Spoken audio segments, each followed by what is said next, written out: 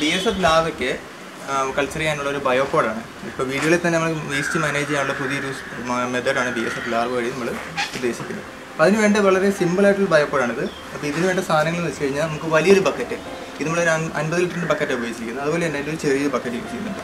ഈ വലിയ ബക്കറ്റിലാണ് ആക്ച്വലി കൾച്ചർ നടക്കുന്നത്. കൾച്ചർ ചെയ്തിട്ട് പ്രീ പി പി ആവുന്ന ലാർവ് നമ്മൾ കളക്ട് ചെയ്തത് ഈ ചെറിയ ബക്കറ്റിൽ പിന്നെ അത് ബക്കറ്റ് കൂടാതെ വേണ്ടത് കുറച്ച് ഫ്ലെക്സ് പൈപ്പാണ് ഇത് ഒരു ഒന്നര മീറ്റർ ഫ്ലെക്സ് പൈപ്പ് ഉണ്ടാവും പിന്നെ വേണ്ടത് കുറച്ച് നമ്മുടെ പ്ലംബിങ്ങിന് ഉപയോഗിക്കുന്ന കപ്ലിങ്ങും ടീയുമാണ് മൂന്ന് ടീയും ഒരു കപ്പിംഗ് പോട്ടെ. എൽബോയും ഒരു എൽബോയും മൂന്ന് ടീ ആണ് ഇതിന് ആവശ്യമായി വരുന്നത് പിന്നെ കുറച്ച് സ്ക്രൂസ് നമുക്ക് ഈ ഒരു പൈപ്പ് ഇതിൽ ഫിക്സ് ചെയ്യാനുള്ള കുറച്ച് സൈക്കിൾ സ്ക്രൂസ് ആണിത്. പിന്നെ ഇതിനെ ഒട്ടിച്ചു പോകാനുള്ള ടേപ്പ് ഇത്രയാണ് ഇതിന് ബേസിക്കലി വേണ്ട സാധനങ്ങൾ. നമ്മൾ ഫസ്റ്റ് ചെയ്യേണ്ടത് ഇതിനെ ഈ ഈച്ചകൾക്ക് വന്ന് എന്റർ ചെയ്യാനുള്ള ഒരു പോർഷൻ ആണ് ഫസ്റ്റ് ഉണ്ടാക്കും അതുകൊണ്ട് നമ്മൾ ആക്ച്വലി ഈ ബക്കറ്റിന്റെ അടപ്പിന് ഇവിടെ തുളച്ച് അവിടെ ഒരു ടീ ഫിക്സ് ചെയ്യും.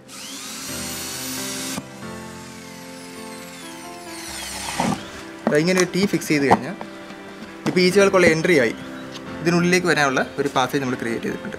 ഇതിന് വേണ്ടി ഇതിനകത്തുള്ള ഔട്ട്ലെറ്റാണ് പുറത്തേക്ക് പോകാനുള്ള. നമ്മൾ ഈ രണ്ട് പേരുടെ നടുക്കായിട്ടാണ് ആക്ച്വലി ഇത് കൊടുക്കുന്നത്. നമ്മളൊരു കൺവീനിയന്റ് കൊടുക്കുന്നതാണ് അങ്ങനെ. ഏത് പോർഷൻ കൊടുത്താലും ഒരു കുഴപ്പമില്ല.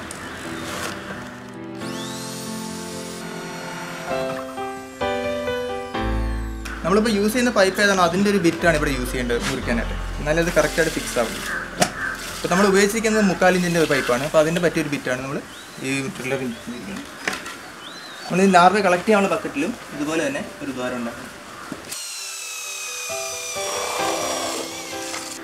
ഈ ഒരു മൂന്ന് ദ്വാരം കഴിഞ്ഞാൽ പിന്നെ ഈ ബിറ്റിന്റെ പണി കഴിഞ്ഞ് നമുക്ക് വേണ്ട ഒരു മറ്റൊരു ബിറ്റ് വളരെ ചെറിയൊരു ബിറ്റാണ് ഇത് ആക്ച്വലി നമ്മൾ അതിന്റെ സ്ക്രൂ ഫിക്സ് ചെയ്യാനും താഴെ ഒരു വെള്ളം പോകാനുള്ള ഒരു ദ്വാരം ഉണ്ടാക്കാനും ഉപയോഗിക്കും. അപ്പോൾ നമ്മൾ വെള്ളം പോകാനുള്ള ഒരു ദ്വാരം അടിയിൽ കൊടുക്കുകയാണ് ഈ ദ്വാരത്തിൽ നമ്മൾ തിരിയിട്ടിട്ടാണ് ആക്ച്വലി വെള്ളം ഡ്രെയിൻ ചെയ്യാൻ ഉദ്ദേശിക്കുന്നത്.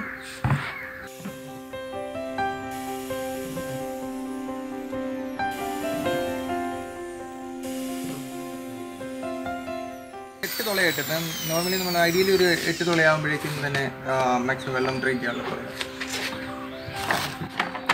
ഒരുപാട് അങ്ങ് തുളച്ച് കഴിഞ്ഞാൽ നമുക്ക് ഈ വേസ്റ്റ് ഒരുപാട് വന്നു കഴിഞ്ഞാൽ ഭാരം താങ്ങാനുള്ള ബുദ്ധിമുട്ടാണ്. ഫ്ലെക്സ് പൈപ്പ് ഉപയോഗിക്കുന്ന അതിനൊരു പാസേജ് പോലെയാണ്. നമ്മൾ ഈ ഒരു ബക്കറ്റിലേക്ക് വരാനുള്ള ഒരു പാസേജാണ് ഈ ഫ്ലെക്സ് പൈപ്പ്. അപ്പോൾ നമ്മളിത് കട്ട് ചെയ്യുമ്പോൾ ശ്രദ്ധിക്കുന്നത് വെച്ച് കഴിഞ്ഞാൽ പൈപ്പ് താഴെ ഇട്ട് കഴിഞ്ഞാൽ ഇവിടെ നിന്ന് ഇങ്ങനെ കട്ട് ചെയ്യാൻ പാടുള്ളൂ. ഇങ്ങനെ കട്ട് ചെയ്ത് കഴിഞ്ഞാൽ നമുക്ക് ഉദ്ദേശിച്ച ഷേപ്പ് കിട്ടില്ല. കട്ട് ചെയ്യുമ്പോൾ ഈ ഒരു സൈഡ് സൈഡ് ട്രാൻസ്ഫർ സൈഡിലാണ് കട്ട് ചെയ്യാൻ.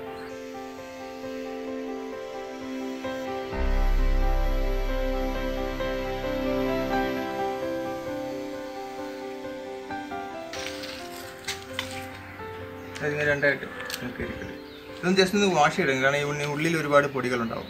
അടുത്ത നമ്മൾ ചെയ്യേണ്ടത് നമ്മളിവിടെ മുമ്പ് തുളച്ച് അതിനകത്തേക്ക് ആ നമ്മൾ ഈ തീരെ രണ്ടിലൂടെയാണ് ആക്ച്വലി ലാർവ മറ്റൊരു ബക്കറ്റിലേക്ക് വരിക.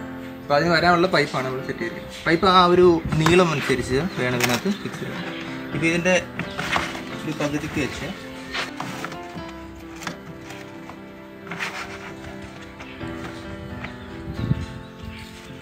ഏകദേശം ഇത്ര നീളം മതിയാവും നമുക്ക്.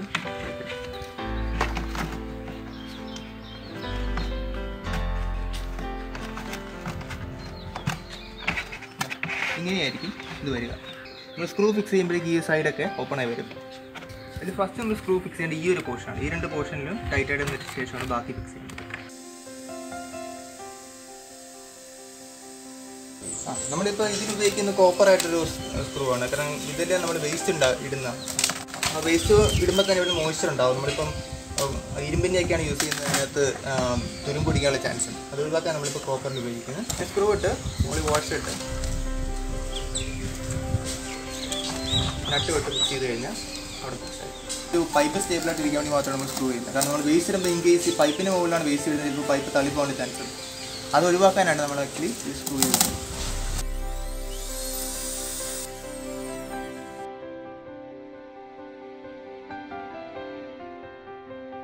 നമ്മളിത് വളർത്തുന്ന ബി എസ് എഫിന് ഒരു പ്രത്യേകത ഉണ്ട്. അതിന് എവിടെ ഒരു അളിഞ്ഞ അഴുകുന്ന ഒരു സർഫസും അതിന് ചേർന്നൊരു ക്രിമിസസ് ഉണ്ട് അവിടെ മുട്ടയിടാന്ന് പറഞ്ഞത് അപ്പോൾ അതിന്റെ ഒരു സ്വഭാവത്തെ നമ്മൾ എക്സ്പ്ലോയിറ്റ് ചെയ്തിട്ട് നമ്മൾ ഇതിനകത്തേക്ക് ഇതിന് മുട്ടയിടാനുള്ളൊരു എൻവയോൺമെന്റ് ഉണ്ടാക്കി കൊടുക്കുകയാണ്. അതിനുവേണ്ടി നമ്മൾ ഉപയോഗിച്ചിരിക്കുന്നത് പേപ്പർ സ്ട്രോ വെച്ചിട്ട് കട്ട് ചെയ്ത് ഒരു പൈപ്പിൽ ഫിക്സ് ചെയ്തിരിക്കുകയാണ്.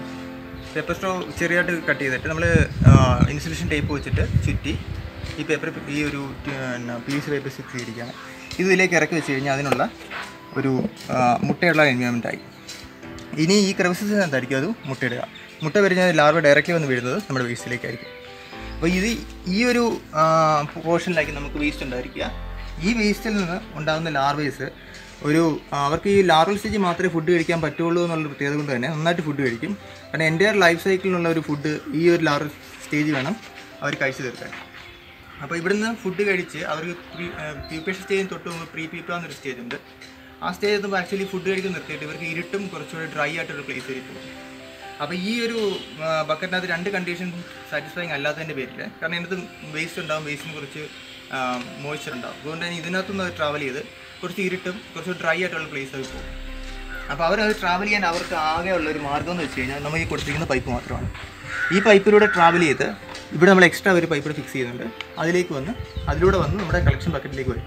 ഇങ്ങനെയാണ് ഇതാണ് അവരുടെ മുട്ടയിടാനുള്ള ഒരു എൻവയോൺമെന്റ് നമ്മൾ ഈ ഒരു ബക്കറ്റിന്റെ ഇനി കൊടുക്കേണ്ടത് ഇതിനുള്ളിൽ വെള്ളം ഡ്രെയിൻ ചെയ്യാൻ നമ്മൾ കുറച്ച് ദ്വാരം കൊടുത്തിട്ടുണ്ട്. അവിടെ നമ്മൾ തിരി വെച്ചിട്ട് വേണം വെള്ളം ഡ്രെയിൻ ചെയ്യാൻ. കാരണം നമ്മൾ ദ്വാരം ഇതുപോലെ തന്നെയാണ് വിടുന്നതെങ്കിൽ ചിലപ്പോൾ ആദ്യം ഉണ്ടാകുന്ന പുഴുക്കൾ വളരെ ചെറുതാണ്. അത് ചിലപ്പോൾ ഇതുവഴി പുറത്തേക്ക് വളരെ ചാൻസ് ഉണ്ട്. അതുകൊണ്ട് നമ്മൾ കോട്ടൺ വെച്ചിട്ട് തിരി ഇട്ട് വെക്കും.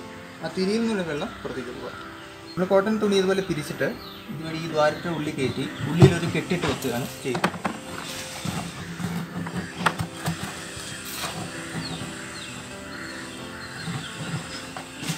ഇതുപോലെ എല്ലാ ദ്വാരത്തിനും ചെയ്ത് കഴിയുമ്പോഴേക്കും ആ ദ്വാരങ്ങളെല്ലാം ആക്ച്വലി അടയും. പക്ഷേ തുണിയുള്ളതിന്റെ പേരിൽ കുറച്ച് വെള്ളം ഡ്രൈ ആയി പോവുകയും ചെയ്യും. അപ്പോൾ നമ്മൾ ആക്ച്വലി ഇതിനകത്ത് ഇപ്പം ഈ ഈച്ച വന്ന് മുട്ടയിടുമെന്ന് പറഞ്ഞില്ലേ? ഓരോ ഈച്ചകൾക്ക് ഓരോ മണത്തോട് പ്രത്യേക താല്പര്യം ഉണ്ടാവും. നമ്മുടെ ഇവിടുത്തെ ഈച്ച എന്ന് വെച്ചാൽ കാളീച്ച എന്ന് പറഞ്ഞ മലയാളത്തിൽ കാളീച്ച എന്നാണ് പറയുന്നത്. ബ്ലാക്ക് സോൾജർ ഫ്ലൈ എന്നാണ് ഇംഗ്ലീഷ് പേര്. അപ്പോൾ ഇതിന്റെ ഒരു പ്രത്യേകത വെച്ചാൽ ഇതിന് ചോറളിയുന്ന ഒരു മണം ഭയങ്കര അട്രാക്റ്റീവ് ആണ് അപ്പം നമ്മൾ ആദ്യം ഇടേണ്ട വേസ്റ്റ് ചോറാണ്. ഇതൊരു ബയോപ്പോഡ് ആദ്യം തുടങ്ങുകയാണെങ്കിൽ അതിന് ആദ്യം ചോറായിട്ട് കൊടുക്കേണ്ടത് ചോറിട്ട് കഴിഞ്ഞാൽ ചോറളിയുന്ന ഒരു മണം ഇതിന്റെ അട്രാക്റ്റഡ് ആയിട്ടാണ് ഈച്ച ഇതിലേക്ക് ഉള്ളിലേക്ക് വരുന്നത്. അപ്പോൾ എന്നിട്ടാണ് ഇവിടെ നിന്ന് മുട്ടയിടുക. അപ്പം ഈ ഒരു ഈച്ച നമുക്ക് യാതൊരുവിധ രോഗം ഉണ്ടാക്കുന്ന ഈച്ചയല്ല. കാരണം ഇതിന് ഈ ഒരു ലാർവൽ സ്റ്റേജ് മാത്രമേ മൗത്ത് പാർട്സ് ഉണ്ടാവൂ.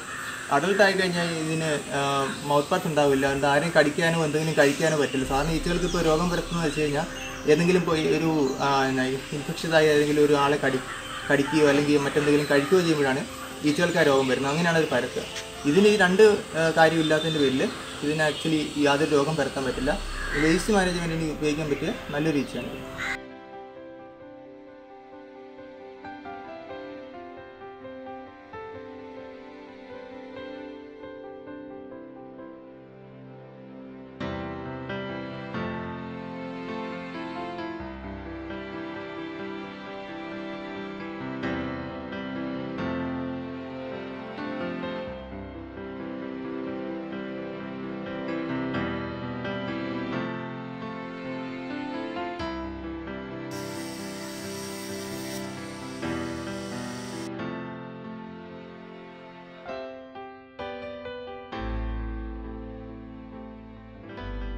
ഇതാണ് നമ്മുടെ ബി എസ് എഫ് ബയോപോളിന്റെ ഒരു ഫൈനൽ രൂപം. ഇതിനകത്തേക്ക് വന്ന് മുട്ടയിടുന്ന ഈച്ച വന്ന് മുട്ടയിടുന്നു. മുട്ടയിടുന്ന വരുന്ന ലാബ് ഇതിലൂടെ പ്രീറ്റീറ്റർ സ്റ്റേജ് കഴിയുമ്പോഴേക്കും ഈ പൈപ്പിലൂടെ വന്ന് ഇവിടെ വന്ന് കണക്ട് ആവും.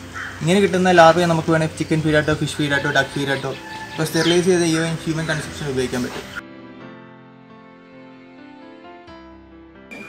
സെന്റ് സ്ഥലമൊക്കെ ഉള്ളവർക്കെന്ന് വെച്ചാൽ വേസ്റ്റ് കളയാനായിട്ട് ഒരു ഒട്ടും ഇതില്ലല്ലോ. അപ്പോൾ അവർ ആണെങ്കിൽ ഇത് ചോദിച്ചോണ്ടിരിക്കുകയാണ് ഇങ്ങനെ ഒരു സംരംഭം ചെയ്യുന്നുണ്ടെങ്കിൽ അത് ഞങ്ങൾക്കും കൂടി കൊണ്ടുവന്നതാ.